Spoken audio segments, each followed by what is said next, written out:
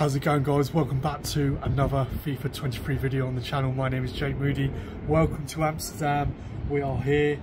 We have the 82 plus times 100. So we did it on the first account, on the second account, sorry, when it first came out and it was terrible. So we've got it here now on the main account. What are we looking at? What have we got? It's a 93 Ruben Dias. Anything else? There's an inform in there, nice. Anything else of note? Not particularly. Keep going down. There's so many cards in there. That, by the looks of it, is horrible.